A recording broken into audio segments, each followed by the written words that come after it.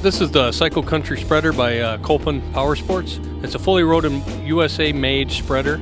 It's fully encased. It'll hold up to 150 pounds of material in there. It's designed for salt and sand. It has a built-in agitator. Uh, the gate opens fully so all the material drops out. It's got a variable speed spinner and the spinner design allows it to control the flow a lot better.